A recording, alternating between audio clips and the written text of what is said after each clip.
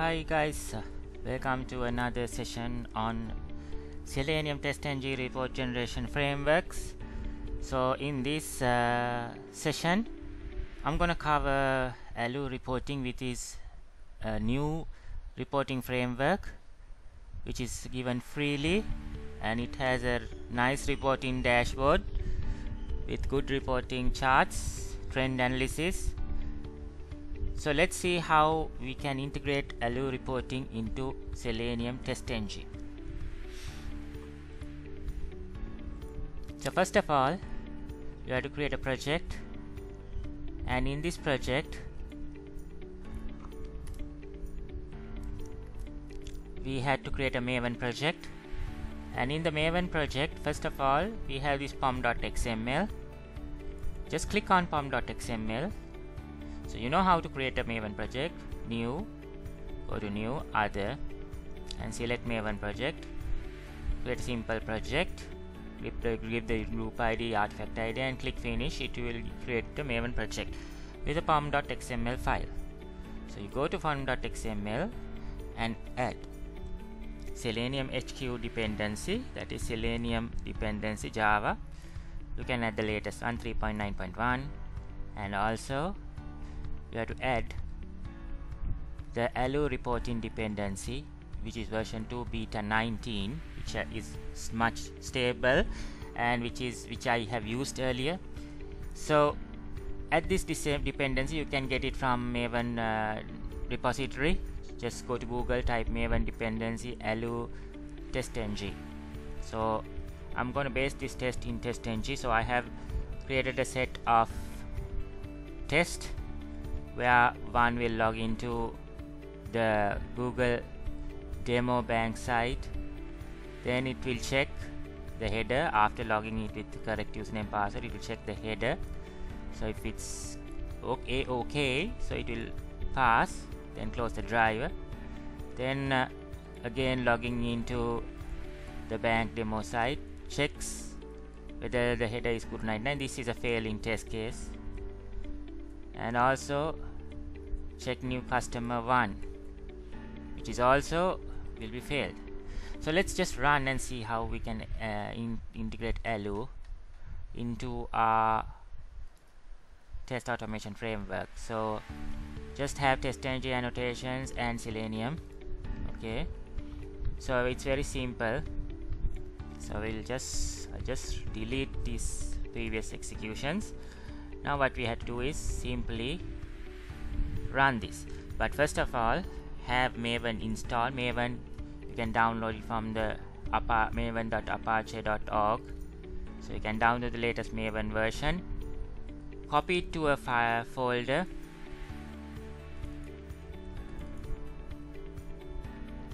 So I have a folder created for maven. Extract it and have it in your system environment variables create the have the path variables environment variables in your system. And also you have to go and download Allure binary. This Allure binary is available at the github of allure dash framework allure 2 releases. So you can download this binary download Allure extract it and have it in a folder so I have a folder called Allure, Allure, Allure 2.50, 5.0 I have downloaded. Then have the bin file in your environment variables. Create a path in the environment variable for the bin file. So that when everything is done try to just run the maven command mvn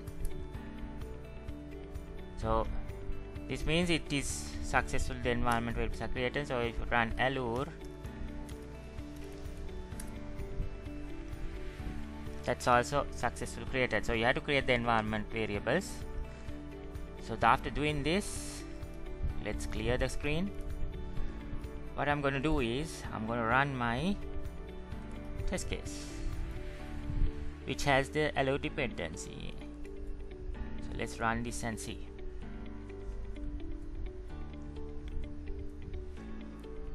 it runs under Chrome. So let's execute the test cases. Logging in. Next test case started second one. So you can see it's logging in.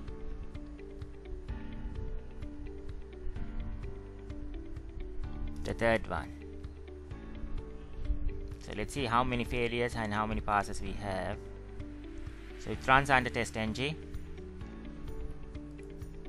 you can see there are three runs one failure it's okay. Doesn't matter just I want to say show you the functionality of Allure.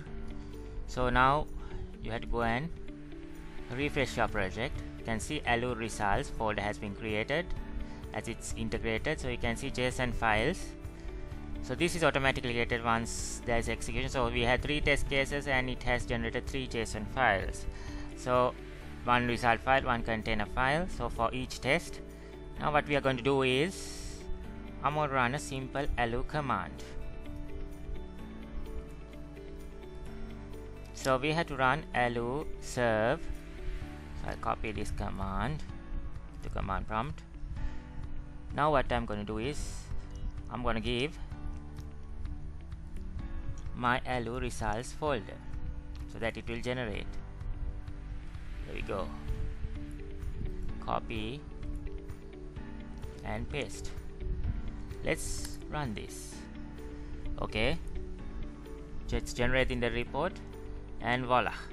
We got the allure dashboard up. So you can see the percentage passed percentage broken test cases. So I have one failure two passing. So when we go to the detail level can see where the failure is. It only highlights the failure. So where what happened to the failure? What is the stack trace graphs of my runs. So the percentage and the bar graphs. So it looks really pretty interesting guys. So you can have the total test cases. How many time how many the time duration? 10 seconds for the first 12 seconds. And this is failing took 8 seconds to run. So this is how we do integrate Allure reporting into your Selenium WebDriver TestNG framework. If you like this video please put a like and start integrating Allure reporting to your Selenium TestNG framework. Thanks guys